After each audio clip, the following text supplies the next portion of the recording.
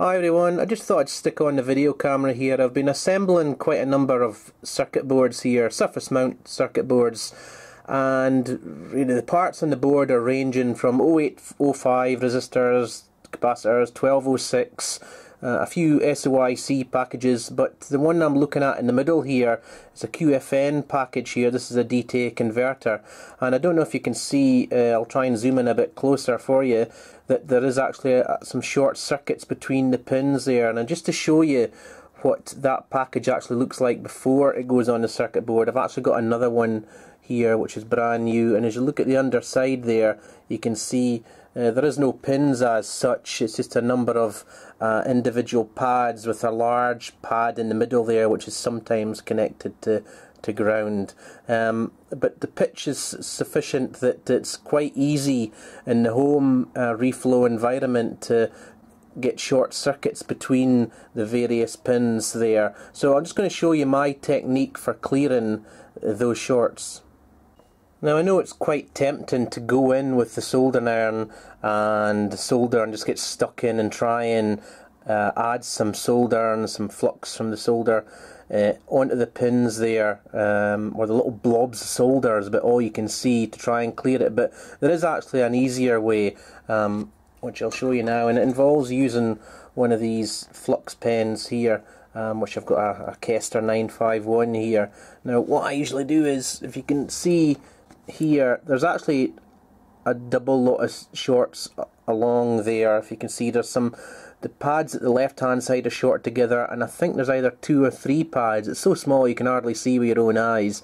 There's three pads at the right hand side there are short together. So what I usually do is take my take my pen and just release some.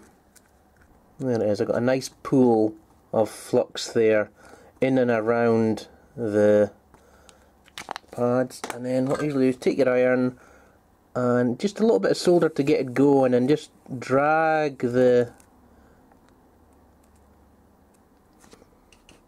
tip of the iron all the way along.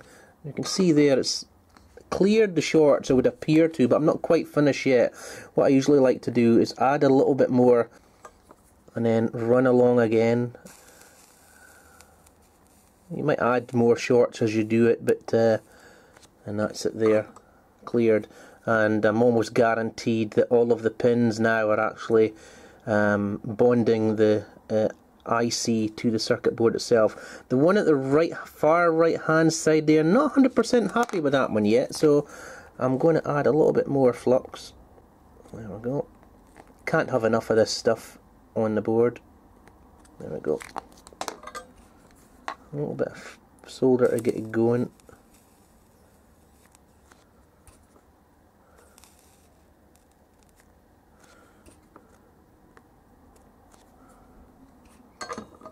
And that's it. And of course I'll repeat it round the other side as well. As you can see the same again going here on probably all, all four sides. It's a bit hit or miss in the reflow oven that I've got here. Um, let's go again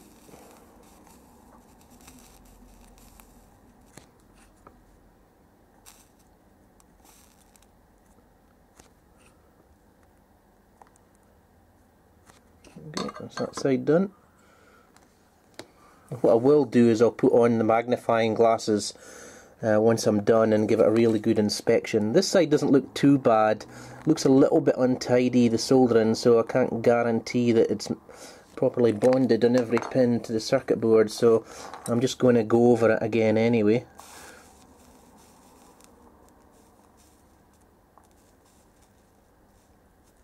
I've got plenty of liquid on there. You're kind of dissipating the heat off the iron across the whole chip, so you're not really localizing too much heat on the chip itself. So, you know, it's not really going to damage it unless you go overboard with it. So keep plenty of uh, liquid flux in and around the IC.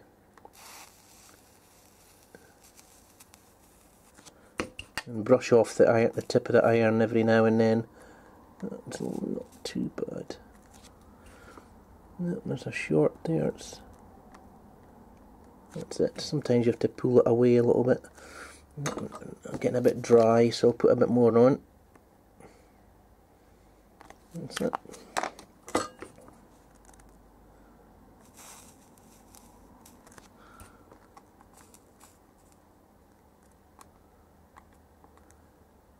that's it, good enough. So that's all four sides done. Um, I've been pretty lucky and this technique works for me.